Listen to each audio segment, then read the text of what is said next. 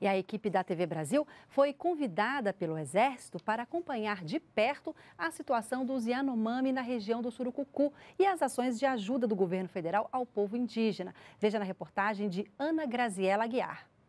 De cima é possível ver a imensidão da floresta amazônica e os rios que cortam a região, em especial o Urariquera.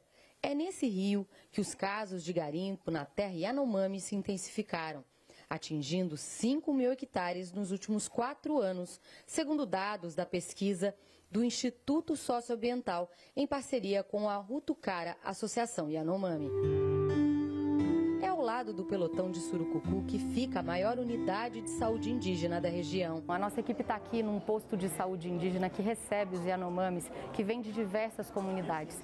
Ele tem capacidade para 30 pacientes e hoje já tem mais de 120. E segundo a liderança indígena aqui local, esse número só tem aumentado. A maior parte dos pacientes aqui tem malária, desnutrição e tem muitas, muitas crianças e mulheres.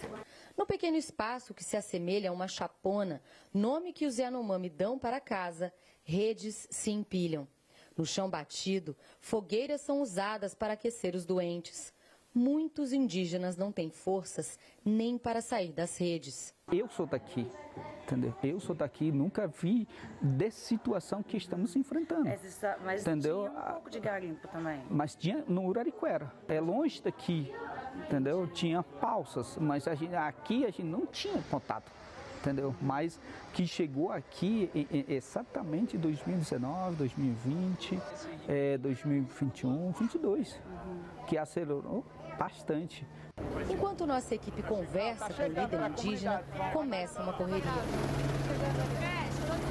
É a chegada de um helicóptero trazendo um paciente em estado grave de uma aldeia distante. O senhor de 60 anos chegou subnutrido e desidratado e foi encaminhado imediatamente para uma sala de estabilização. Médicos da Força SUS, do Exército e do programa Mais Médicos se uniram para ajudar.